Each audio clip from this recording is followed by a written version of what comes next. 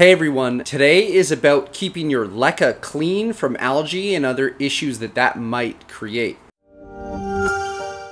So what is algae? Algae is typically a single-celled organism that photosynthesizes without roots or leaves. And it photosynthesizes using the sunlight or light that we have our plants in. Why don't we like that? Because this algae that's on the rocks consumes the oxygen out of our water. And the oxygen in our water is the essence of our root health. If we lose our oxygen in our water, we lose these healthy white roots and it starts kind of rotting. Algae overall tends to attract fungus gnats too. The thing with leca and hydroponics leca is that we want to keep that system sterile. So we're going to fight this with good old hydrogen peroxide again. We're going back to adding in that oxygen back into that root zone. It's the 3% strength, the one they sell everywhere. So let's go over how to kind of sterilize and prepare a system that has algae to make it not have algae in the future and to prevent algae. So I have my kind of dirty leca vase and the very first thing to do is to scrub it down. It's just simple soap and water. I have a teeny little sponge here. A good little hack is to take a full-size sponge and chop it up into like six or nine different pieces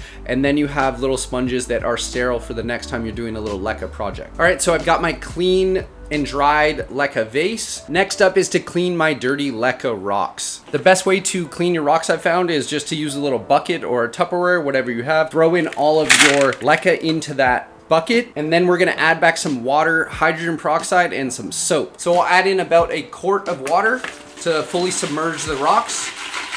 I'll put in about a half ounce of hydrogen peroxide and about three or four drops of dish soap.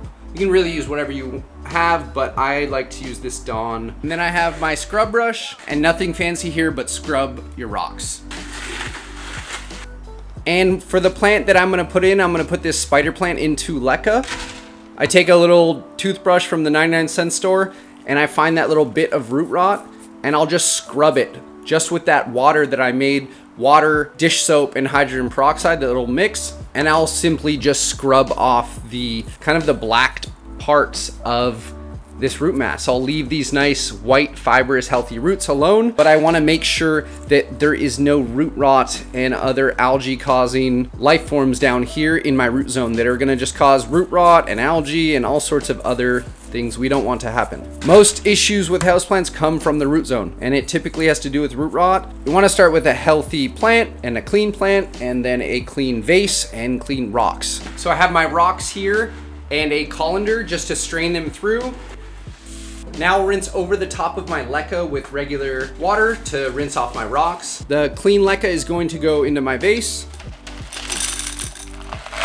All right, so we have our plant transplanted. The roots have been sterilized, our rocks have been sterilized, and the vase is now clean. The final step is to prep our water to go inside this vase, and that needs to be sterile also. So we're gonna use that hydrogen peroxide again to add into our water solution. I'll put a little hydrogen peroxide into this cup and then use my pipette to measure out three mLs, three milliliters per gallon of water. A lot of people use different concentrations. 3 mLs is safe, but I've seen people go all the way up to one ounce per gallon of water to really keep the water sterile and full of oxygen. So I've got my gallon of water and 3 mLs of H2O2, and I'll put that straight into there. And for this spider plant, I'm gonna continue with my leca nutrients. It's just barely rooting, so I have 3 mLs of part A and 6 milliliters of part B. So I'll just mix this up and I'll just add this back to my leca vase. And I'm gonna run my water line on this leca pot a little bit higher up because I know that the roots are kind of somewhere around here and force them to stretch down into this solution to find that water and that will encourage root production. And once in a while, like maybe, maybe every couple days, I'll just hold all of the rocks and just swish the water up to the top